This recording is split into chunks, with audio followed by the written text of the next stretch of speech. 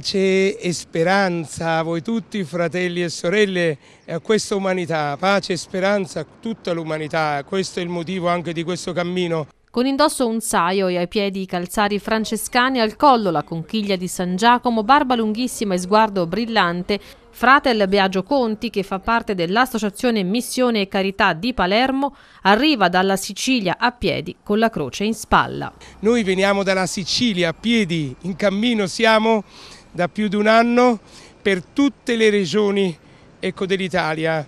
Prima di arrivare ad Arezzo ha visitato anche i luoghi del centro Italia colpiti dal terremoto.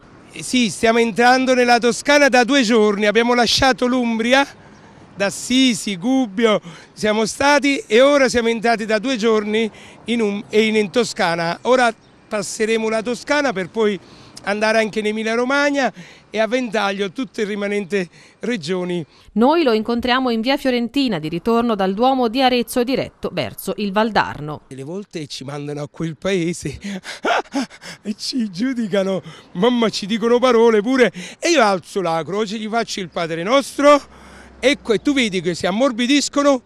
O oh, vanno via, vanno via, no, no, no, perché la croce è dolorosa ma è gloriosa ed è gioiosa. È l'egoismo e, l'indifferenza è il male primario.